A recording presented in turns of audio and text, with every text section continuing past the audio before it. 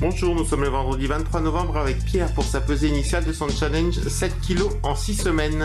Penses-tu pouvoir le réaliser? Bien sûr. Je te laisse monter sur la balance. 97 kg.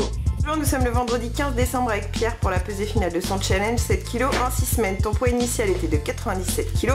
Tu devras atteindre les 90 kg. Est-ce que ça te paraît réalisable? Ça me paraît bien réalisable. Je te laisse monter sur la balance. 85 kg 9